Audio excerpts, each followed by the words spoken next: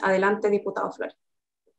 Muchísimas gracias, Javiera. Yo creo, en primera instancia, agradecer toda la participación y las opiniones que se han generado y que se han dado el día eh, de hoy, de lo cual coincidimos plenamente en algunos puntos centrales. Uno de ellos es poner sobre la mesa discusión social, sobre la mesa discusión política, sobre la mesa del diálogo en cada uno de nuestros países y en la región de la necesidad de eh, contribuir todos en conjunto al combate del hambre, a lograr los objetivos de desarrollo sostenible 2,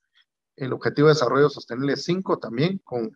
eh, el tema de género muy indispensable en el trabajo que realizamos, pero sobre todo yo creo que eh, me sirve la opinión de las personas que han intervenido el día de hoy para hacer un llamamiento a todos los que nos escuchan y poder proponer el hacer un pacto eh, legislativo, un pacto de congresistas, un pacto parlamentario sería en este caso, en el cual eh, ese pacto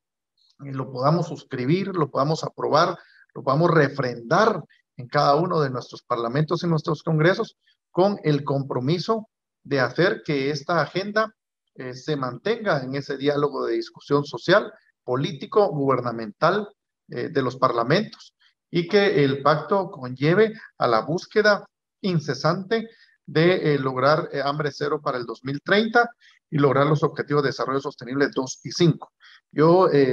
creo que el aporte más importante que, que hoy se pueda dar es el poder promover, impulsar esta, agenda y este diálogo y sobre todo mantenerlo en esa mesa de discusión. Nosotros hemos estado acostumbrados en nuestros países a escuchar los indicadores de hambre, de nutrición infantil, de nutrición crónica, de nutrición aguda, de, de nutrición en el área rural, de nutrición en la mujer, en la mujer indígena,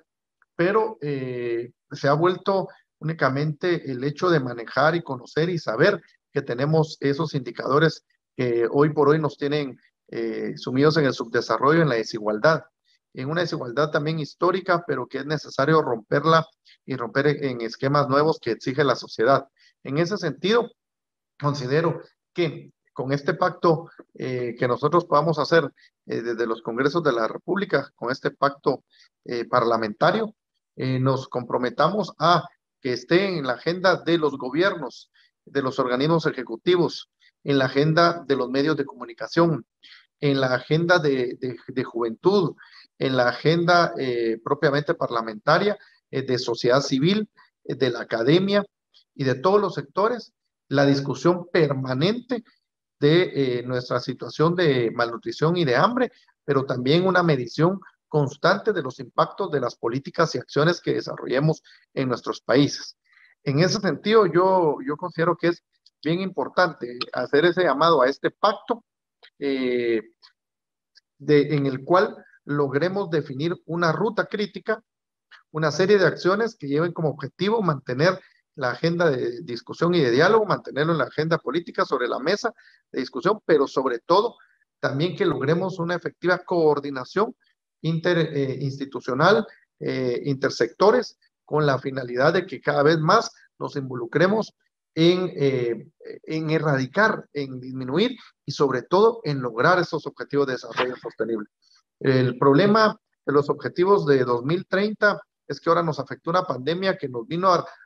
complicar más la situación, pero eso significa que tenemos que eh, duplicar los esfuerzos, las sinergias y el trabajo en conjunto. En ese sentido, pues dejo el llamamiento a mis colegas para poder eh, trabajarlo también a, la FAO y a la cooperación internacional, a la cooperación española y México, para que se pueda tomar esta como un eh, trabajo conjunto, como un pacto en conjunto que pueda de alguna manera ayudarnos a acelerar y lograr eh, pues los tan anhelados objetivos que tenemos de hambre cero para la región. Muchas gracias.